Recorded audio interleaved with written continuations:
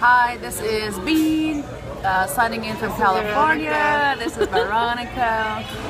We are eating at our favorite place, Louis Burgers. Oh, it's so good. We had a fat plate. I'll show you here in a minute. Um, we're signing in. That's left. See? So anyway, uh, on my personal page, we're gonna post this. We just wanted to tell everybody Happy Thanksgiving. Happy Thanksgiving. Enjoy. Gobble, gobble, gobble. Pat in your face. and all that stuff. And here's the girls. Long Beach. So anyway, Hakoshine. Talk to you guys soon. Bye.